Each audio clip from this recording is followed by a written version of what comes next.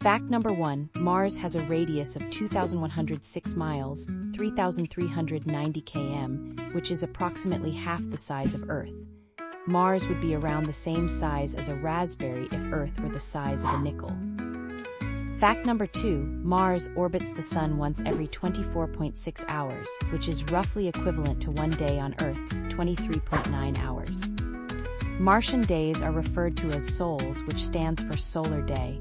A year on Mars lasts 669.6 sols, which is equivalent to 687 Earth days. Fact number 3. Mars, like Earth, has distinct seasons, but they stay longer since it takes longer to orbit the Sun due to its distance.